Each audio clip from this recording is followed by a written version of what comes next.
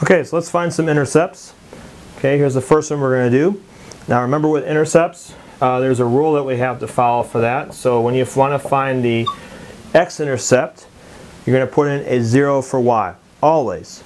Doesn't matter what the equation is, we always do the same process. So let's do that for this one. Put in a 0 for y. 4x plus 0 squared equals 4. 0 goes away, we get 4x equals 4 and when we solve for that we get x is equal to 1. This is where it'll cross the x-axis. Next, we want to find the y-intercept. The y-intercept is where you put in a 0 for x. So let's do that. Put a 0 into the original equation there. 4 times 0 plus y squared equals 4. If we simplify that, we get y squared equals 4. Remember, for this, you got to take the square root of both sides to get y by itself. Now when you do, you're going to get plus or minus because uh, if you take negative 2 squared you get 4 and 2 squared you also get 4 so you get two answers. So y is going to equal plus or minus 2. So it crosses the y-axis in two places, crosses the x in one spot there. So this right here, uh, this is going to be your part A.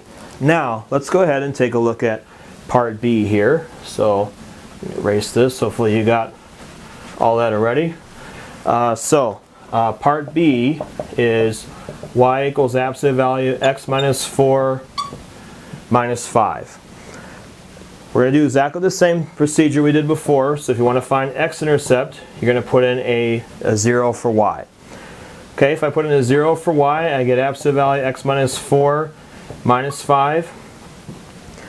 To solve absolute value equations, you need to get the absolute value isolated. So I'm going to move this over and isolate it just like that. Now, you need to, when you have absolute values and you're solving them, remember that this is actually going to go into two different equations. The reason why is because absolute value of 5 is 5, but absolute value of negative 5 is also 5. So we're going to take this and, and turn it into two different equations. We're going to do this one, x minus 4 equals 5. x minus 4 equals negative 5. So we use exactly what we have inside the absolute value. We just do one positive and one negative to solve these kind of problems. We're going to add 4 to both sides and we get x is equal to 9. Over here, we're going to add 4 to both sides and you get negative 1. So we get two x-intercepts for this problem, a 9 and a negative 1. Let's also take a look at the y-intercept. We'll do that down here. y-intercept is where we're going to put in a 0 for x. We're going to put that back into the original one. We get absolute value 0 minus 4 minus 5.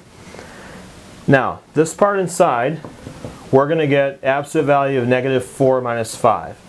Whenever you have an absolute value, it's always going to give you a positive number.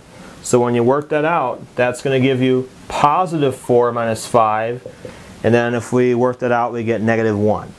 So for this one, this one has two x-intercepts, 9 and negative 1. And we have one y-intercept, which is going to be at negative 1.